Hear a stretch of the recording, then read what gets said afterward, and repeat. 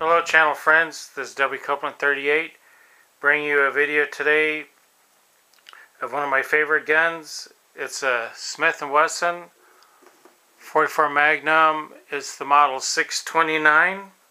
It's a really fine piece of work here. Let's go over a few of the uh, technicals on it. Okay, it's not loaded. Always check your gun safety. Of course, the caliber is 44 Magnum. It shoots 44 Magnum loads and 44 Special. It has a capacity of 6 rounds. It has a barrel length of 6 inches. The grips, these are walnut. And I also have Pachmayr grips that fit it also. And these are the ones that actually wrap around the butt of the gun instead of stopping at the very end. The action is of course single and double action. The frame is a very large N frame with an exposed hammer and trigger and the tri and these two are designed wide because they're for target use. The finish is a satin stainless and it has a stainless steel cylinder. It's real thick. Designed to shoot the 44 Magnum loads.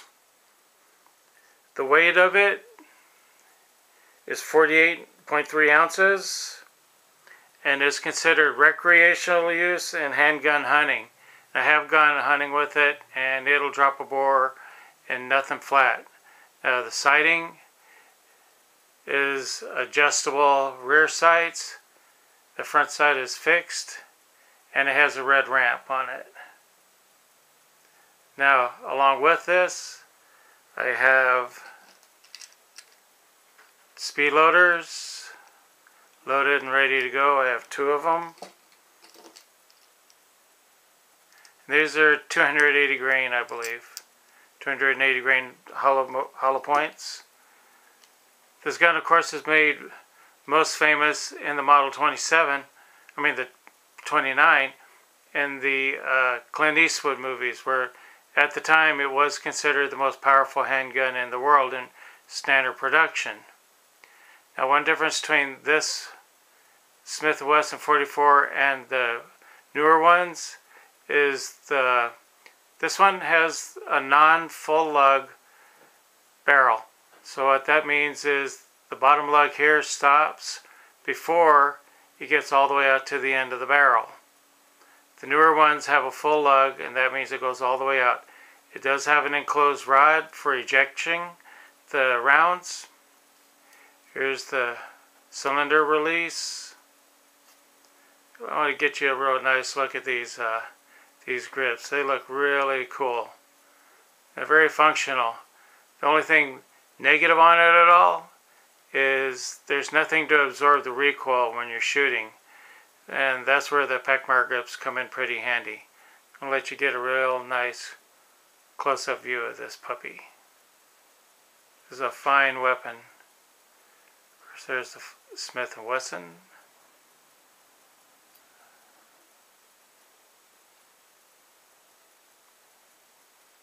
Front of the muzzle, business end.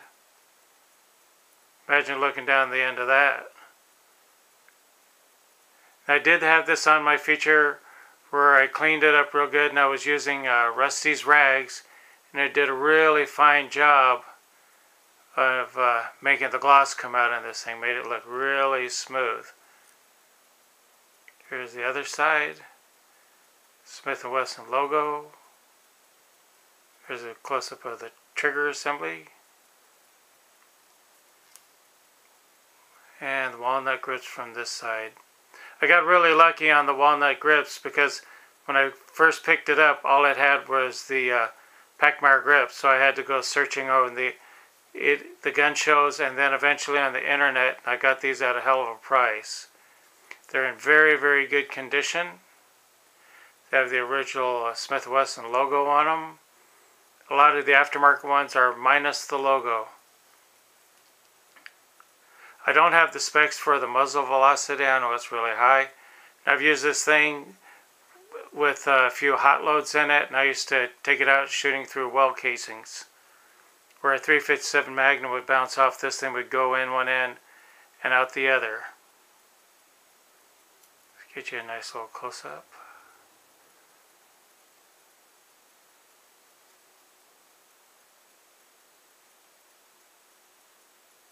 Go ahead, make my day.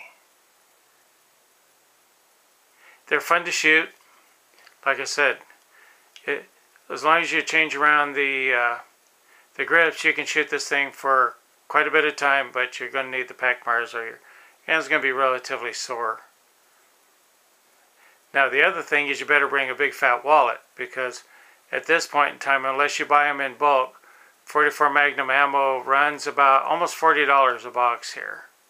So if anybody knows where I can get them for a lot less than that for 50, please send me an email and I'm going to get them.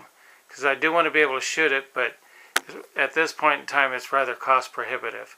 There's the uh, wide hammer, the target hammer, the adjustable sights. Really a nice gun. It's, this thing is so fun to shoot. A lot of fun. It pokes really big holes too.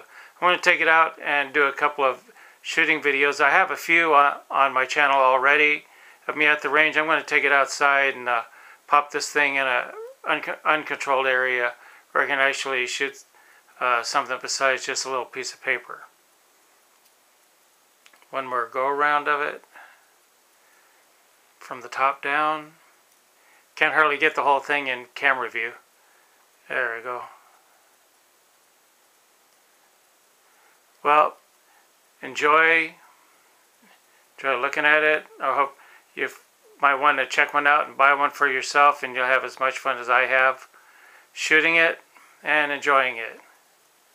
This is Double Copeland 38 saying don't make anyone's day on the end of this thing.